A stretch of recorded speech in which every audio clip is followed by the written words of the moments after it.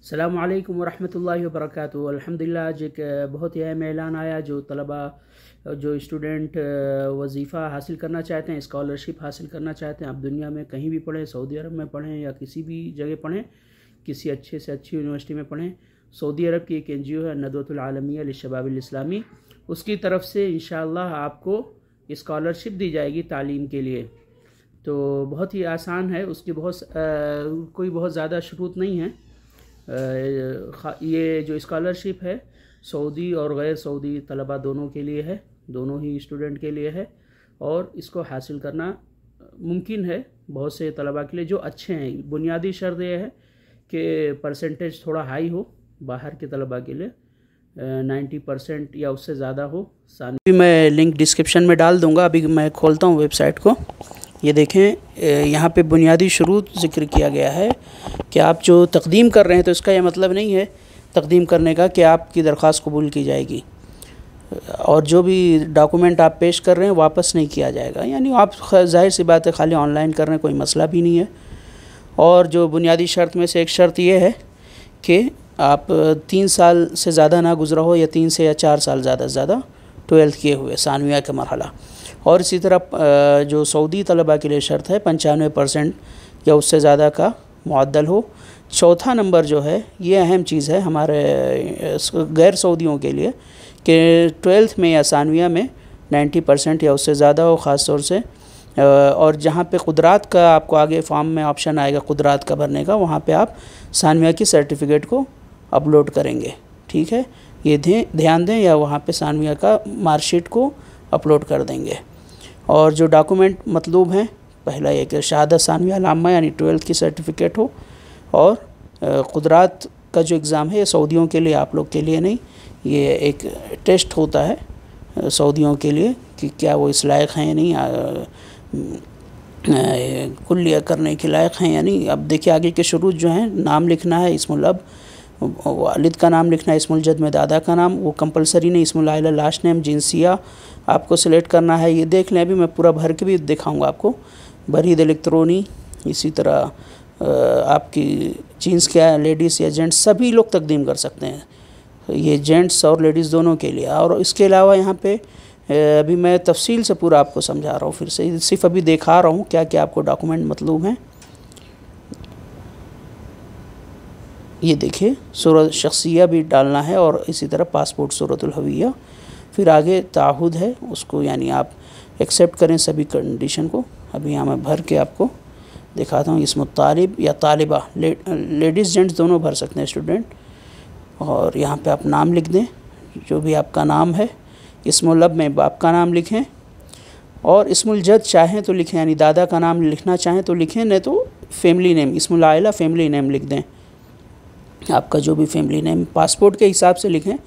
जो पासपोर्ट पे आपके लिखा है, अगर नहीं लिखा है तो नाम ही लिख दें जो आपका लास्ट नेम या दादा का नेम है। आपका फिर यहाँ जिनसिया में आप किस कंट्री की हैं नेशनलिटी क्या है, वो एक सिलेक्ट करें। जैसे मैंने इंडिया को सिलेक्ट किया, फिर रकमुल हविया या रकमुल जवाज़ में पासपोर्ट नंबर आपको लिखना है। एक अहम चीज़, जैसे मैंने एफ़ शुरू में है, वो लिख दिया है तो वो एक्सेप्ट नहीं करेगा बाद में। यानी सिर्फ़ नंबर में होना चाहिए। और ये हरूफ में नहीं होना चाहिए। मोबाइल नंबर आप लिख दीजिए, जो आपका हो। फिर उसके बाद जो ऑप्शन है, buried electronic email ID. Email ID आपको लिखना है, जो जिस, जो आप यूज़ करते हैं, जिस पे आपको ईमेल वगैरह आएगा, कि आप एक्सेप्ट हो रहे हो या नहीं, और दीगर मालूम के लिए। और यहाँ पे तारीख़ुल मिलाद आपकी डेट ऑफ़ बर्थ लिख दीजिए। और अगर सिलेक्ट नहीं हो रही तो वहाँ डायरेक्ट उसको लिख कर भी सिलेक्ट लिख कर चेंज कर सकते हैं। जैसे मैंने यहाँ पे इसको 2002 कर देता हूँ। और उसके बाद यह है, हालतुल इज्तमाहिया आप क्या हो, शादीशुदा हो या गैर शादीशुदा मुतजविज यानी शादीशुदा आज़ब यानी गैर शादीशुदा, जीन्स, आप ज़कर, यानी लड़का, उनसा, यानी लड़की, आप दोनों में से जो भी हो सेलेक्ट कर दो।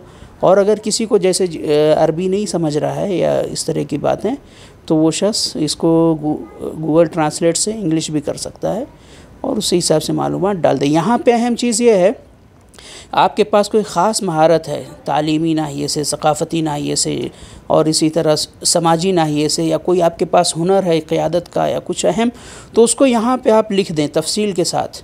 जो भी आपके पास हुनर है, अहम चीज़ है, आप किसी चीज़ में बहुत माहिर हैं, वो तफसील के साथ यहाँ लिख दें। वो आपके स्कॉलरशिप के लिए, कबूल होने के लिए ज़्यादा बेहतर होगा और कबूल किया जाएगा। ठीक है मालूमत दरासिया में यहाँ पे आपको अभी पूरी तफसील, उसके बाद जो है वो डालना रहेगा। हालत तालिब दरासिया यहाँ पे अभी क्लिक करके देखते हैं क्या क्या डालना है।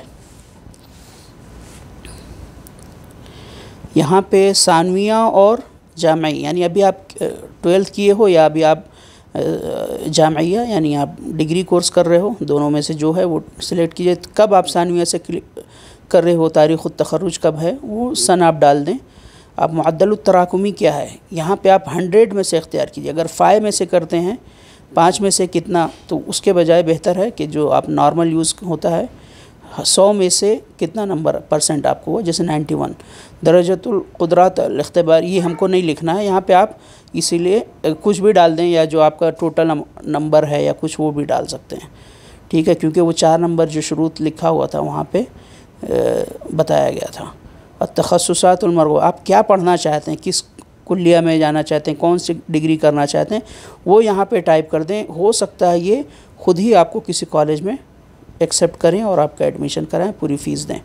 फिर आपको यहाँ पे सब अलमरफ़ात में आपको अटैचमेंट करना, सभी फ़ाइल सूरा शख्सिया तालिब फ़ोटो आपको अपडेट करना। मेरे, ऐसे ही मैं फ़र्ज़ी बना रहा हूँ तो कोई भी चीज़ डाल दूँगा।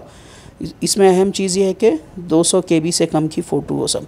सूरत देखिए, मैं एक, यहाँ पे मेरे पास एक फ़ाइल है, कुछ भी डाल दे रहा हूँ। आप अपनी सब एक जगह फ़ाइल बना के रखें, वहीं से सब डॉक्यूमेंट आप अटैच करते चलें। सूरतुल हविया तालिब, यानी पासपोर्ट का फ़ोटो उसके बाद सूरत शहादतसानविया आपका ट्वेल्थ का सर्टिफिकेट उसके बाद ये जो भी मैंने डाला, कितना नंबर हासिल किया आपने, उसका रिज़ल्ट वगैरह, फिर दर्जत तो अख्तबारक़ुदरत में शहादतसानविया को डाल देना है, जैसा कि उसमें बताया गया।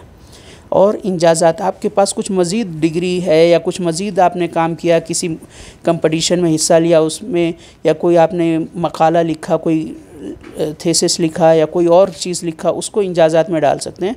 फिर ताहद पे क्लिक करें कि हाँ जो भी है, सब सही है, नाम लिखें, तारीख़, जो डेट में फॉर्म भर, वो डालें। और उसके बाद आप साइन करने के यहाँ पे इलेक्ट्रॉनिक तरीका दिया, जिस तरह आपके पासपोर्ट पे या डॉक्यूमेंट पे आप साइन करते हैं, उसी तरह यहाँ पे साइन कर दें और इरसाल पे क्लिक कर दें। ठीक है, अभी मैं यहाँ थोड़ी सी मुझसे मिस्टेक हो गई है। इरसाल करूँगा। तो प्रॉब्लम आ रहा है क्योंकि मैंने इससे पहले आपको ज़िक्र किया, मैंने पासपोर्ट में एफ़ डाल दिया था तो उस वजह से नहीं हो रहा था। तो अभी देखिए, अभी जब मैं इस इरसाल किया हूँ तो मेरा ये रकम तलब यानी मेरा रजिस्ट्रेशन नंबर ये है। अब मैं कोई भी मुताबा इनसे करूँगा तो ये मेरे पास ये सेव होना चाहिए। आप इसका स्क्रीन इसका स्क्रीन मार के रख लें और फिर कोई भी मुताबा उससे करें। और ये और उम्मीद है कि आप लोग इस तरह फॉर्म भर कर इस एनजीओ से स्कॉलरशिप हासिल कर सकते हैं। और आज शाम में मज़ीद नजरान यूनिवर्सिटी का भी फॉर्म ओपन होने वाला है। आज शाम या रात तक तो मैं उसकी भी वीडियो तफसील के साथ इन अपलोड करूँगा। और जिससे तलबा को इस्तेफ़ादा हो और बहुत से तलबा उससे इन फ़ायदा उठाएँगे। और बहुत से लोग, अल्हम्दुलिल्लाह, फ़ायदा उठा भी रहे हैं। बहुत से लोग एक्सेप्ट भी हैं। अल्लाम वरहमल